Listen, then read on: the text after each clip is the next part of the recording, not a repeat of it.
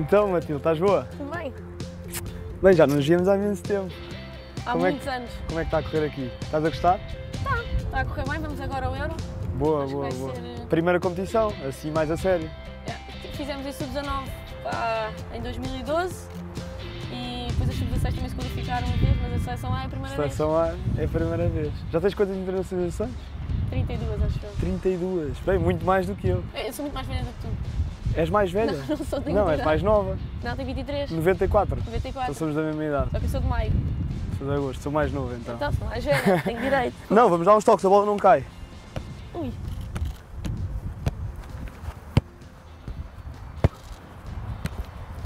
Qual é que é a posição que jogas? sou defesa, não se nota.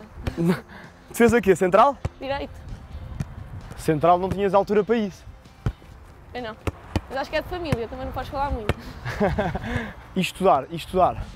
Estudar, eh, Estás só a jogar ano. futebol ou estás a trabalhar também? Não, estou a estudar. Tirar uma estrada, estou a acabar uma estrada, acaba este ano. De quê? Engenharia. Ai, Estás no técnico? não, Não? Faculdade de Ciências. Ah, mestrado, portanto já és licenciada, tudo, tudo orientado para começar a trabalhar. Sim, mas acho que este ano vou jogar a bola. Mas pronto, pode ser que ainda acabe. Então e tempo para o futebol? Tranquilo ou... Tranquilo. Dá para tudo. Também agora só tenho mestrado. Vocês fazem treinos à tarde só? Eu treino à noite. Quantas vezes por semana? Três, Ah, então é bom. infelizmente. Porquê? Querias mais? Queria? Então olha, bora lá para o treino, que está na hora do treino. Bora. Não podemos treinar os dois juntos, acho eu, portanto.